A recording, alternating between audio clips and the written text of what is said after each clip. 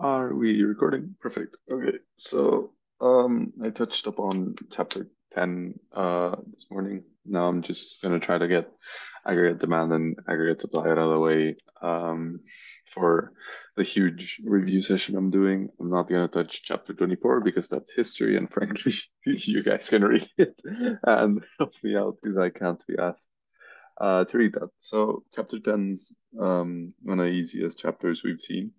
Um, it is, it will probably take me like 15 minutes. So strap in. It's gonna be easy as hell. And yeah, so chapter 10, it mostly looks at, um, like, where's that? Yeah, it, you can mostly uh, say this chapter is about uh, growth. So this is just gonna be growth. So how the book defines growth here is steady increases of outputs of output over time. So that's your definition of growth. So you can see growth mostly in a country's GDP. So a country's GDP, okay, that doesn't want to work. Uh, you have here, that's your GDP, this time. And if a country is growing, it'll look something like this. Just up, up, up, just generally following an upwards trend. Um, but something to note is that uh, over time populations also grow. So the best way to measure growth is not necessarily GDP. Um, I'm just gonna clear this, not necessarily really best way. The best way in uh, usually is measuring it uh, by the growth of GDP per capita because this oh god uh, this GDP per cap per capita it'll follow the same trend similar to this so you're gonna have like uh, you're have like a recession there and whatnot that generally follow the same trend. But if your GDP per capita is growing, so if your GDP per cap is increasing, you can assume GDP is also increasing without it being from population growth.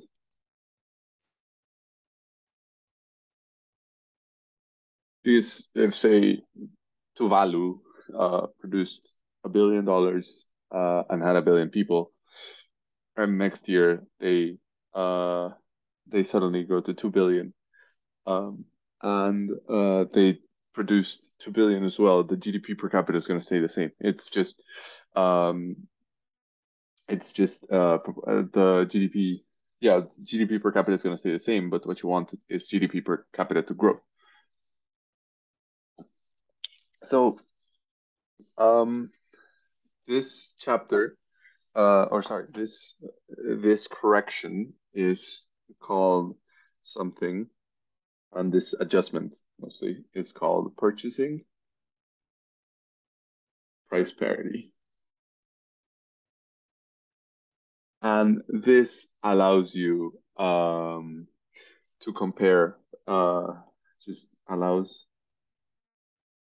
to compare uh, between poor and rich countries.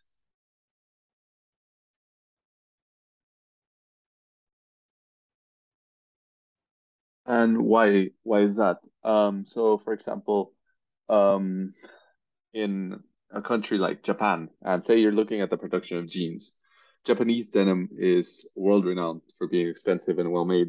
Um, but it's going to cost you a lot more to produce a pair of jeans um, than, say, in uh, any of the BRIC countries.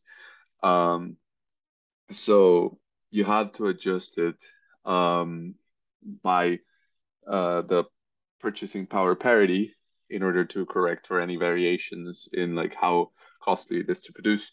and this can mostly be seen through uh, production. So this usually is measured in either output per worker or uh, you can also see it in output per hour. That's the two ways. Um, so GDP, and going back to our dear GDP, growth happens due to uh, something called the force of compounding. To the force compounding.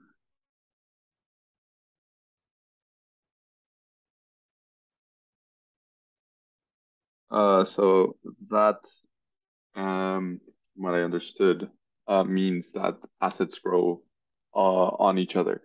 But there's also something called convergence, which is uh, within the the, within the same uh, subtopic, this convergence. Uh, this literally means that smaller countries uh, grow faster.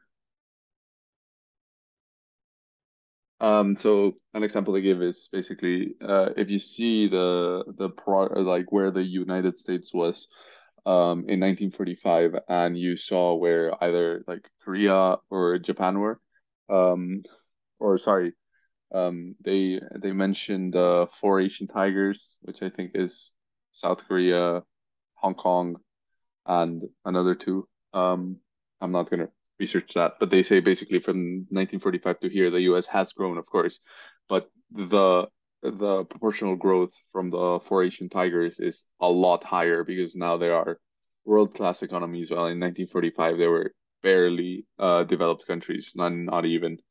Um, so yeah, that's what you have to know about convergence and the force of compounding. So something this uh this book talks about also is the Easterlin paradox. By the way, this whole like first part of the chapter is just uh jibber jabber. It's just wording. Um, uh, a little bit further, we will actually see a little uh formulas. So the Easterlin paradox basically means, in simple terms,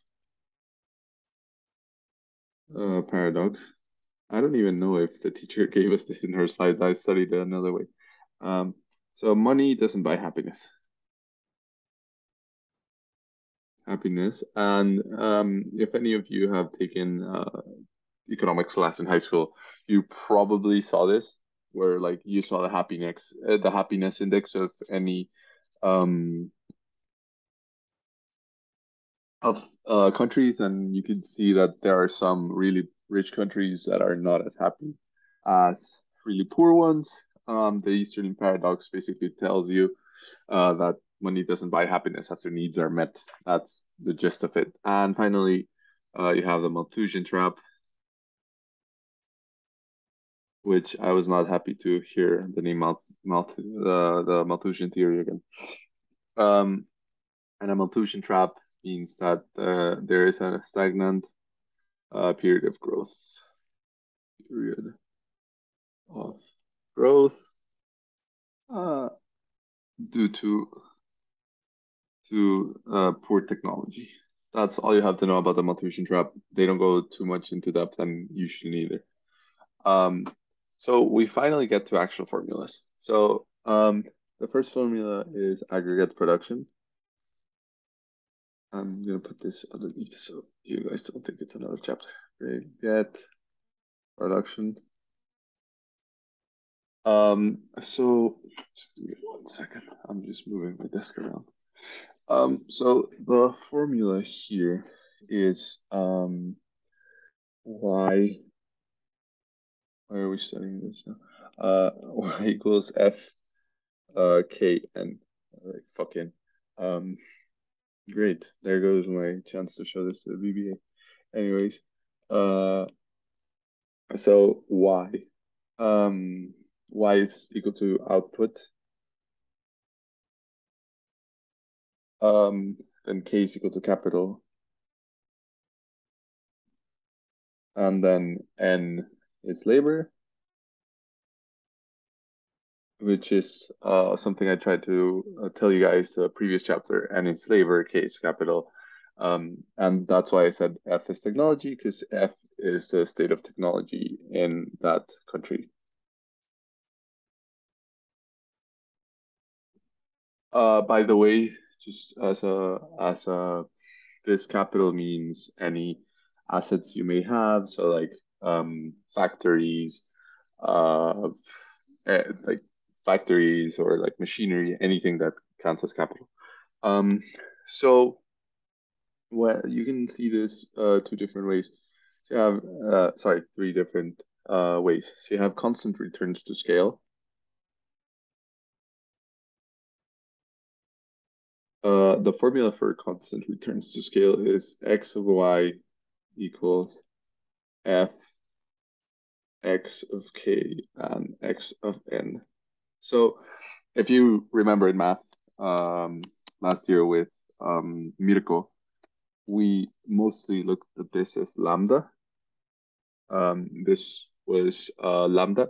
So what you're saying is is that for every increase in lambda, so you you're adding lambda, your output y is gonna uh, increase by the same amount. That's what constant returns to scale uh, means.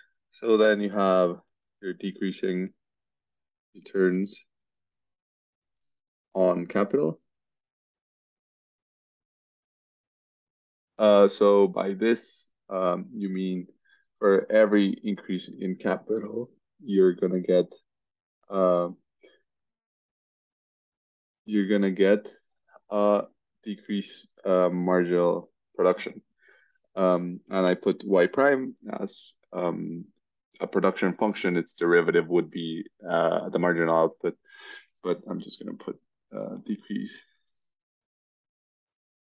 in marginal production. This is what I mean. Um, and you also have uh, decreasing recur decreasing returns on labor.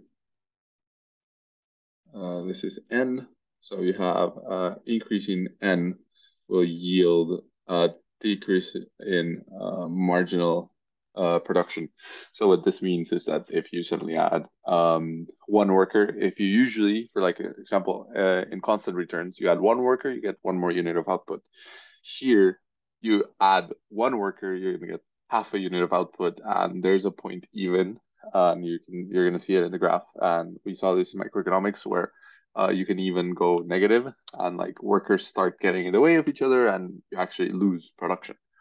Um, so let's actually move this a bit. I'm sorry that uh, I'm putting this like as if it was another chapter. It's not, but I'm just it's easier uh, to keep this within the same page.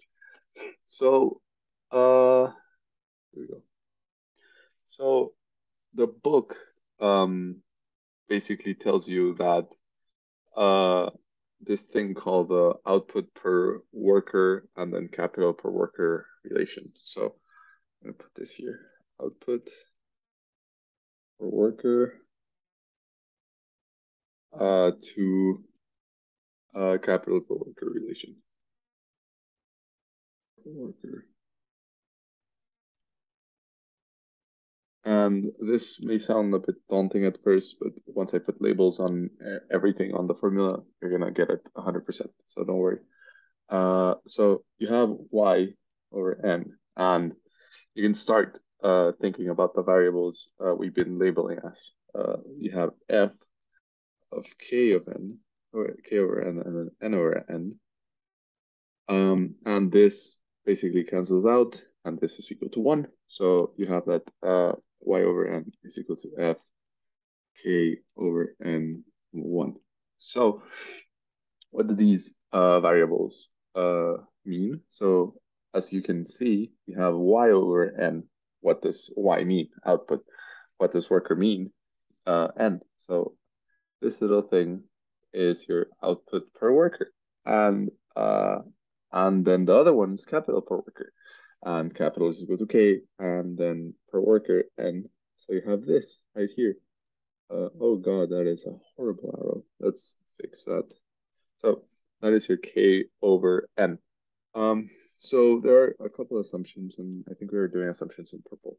Um, so first off, any increase in uh, capital per worker uh, gives you a movement along the production function. Uh, um, so this again, this does not mean um, that it shifts. The only thing that can lead the production function to shift is an increase in technology. By the way, this is very similar to the production possibilities curve. Uh, just like there's an increase in technology that shifted. Uh, so this is actually a shifter. And uh, finally, you have uh, two reasons for growth. So you have either uh, capital accumulation, so I'm, I'm thinking K accumulation. So by this, they mean an increase in savings rate. Rate. I don't know why I put the period there. That's not a the acronym. And then you also have technological progress. Uh, so how does this look actually in a graph? So it's super simple. Again, I said uh, chapter 10 is a joke. Um, so you have this. It's basically, uh, let's do, uh, let's separate this a little bit so it's a bit clearer. Um, have your little graph here. Uh, and the thing literally just looks like this. So it's instead of the production possibility frontier that looks like this, you have uh, that. This also exemplifies the um, decreasing marginal returns to input. Uh, so as you can see, um, this is seen as like, for example, here, you're increasing, increasing, increasing, increasing. And here you start to uh, go down. So, and like if you were to take like the derivative here, and I'm sorry, I'm putting in math terms, but it's uh, if it's a bit easier to understand. So say I were to put the derivative here, this is going to be, let's say that's going to give me that at this point, the slope is like three. But the closer I am to here, this is going to be one. So here for every um, uh, worker you increase, it's going to give you three units of output. Well, here for every worker you increase, it's only going to give you one unit of output because the marginal return to scale uh, is decreasing. So yeah, by the way, this is not in the book, so don't quote me on this. Don't try to memorize that. Uh, it's just an easier way for me to understand it. So um, if you guys find it easier to understand it that way, if this will let me erase, um, go ahead. And if not, just ignore this. It is not part of the course, so don't stress out about why the fuck is Gato talking about uh, derivatives. uh, but yeah. So um, here you have y over n, and here you have uh, k over n. So this is your output. This is your capital uh, per worker. So again, uh, this is just uh, the book looks right now into the decreasing marginal returns uh, to inputs. So that's what I just explained. Um, and also uh, you have your increase. So say, for example, these guys just like invent, I don't know, vibranium from Wakanda, and they can suddenly produce eight times as more. You're going to see your curve actually shift up. So um, this is the only way the curve can shift up this this little jump is because of an increase in technology. That is uh, the only uh, thing uh, that can shift your uh, output per worker to capital per worker production function. Uh, and here I had a little note in my own notes, which I'm going to write it down. I don't know if it's um, important, but any increase in y, aka output, will require, ah, this is a relation, will require uh, more capital more capital uh, due to to decrease uh, output per worker. This is a little relationship you can remember. This just exemplifies your uh, decreasing marginal returns uh, worker. And that's it. That is chapter 10.